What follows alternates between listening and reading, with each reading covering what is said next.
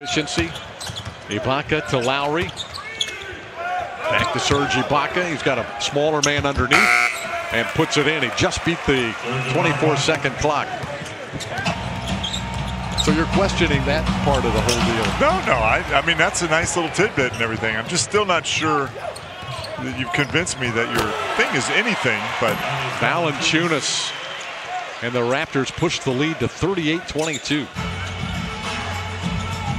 Vucevic, backdoor cut. Terrence Ross stuffs it in.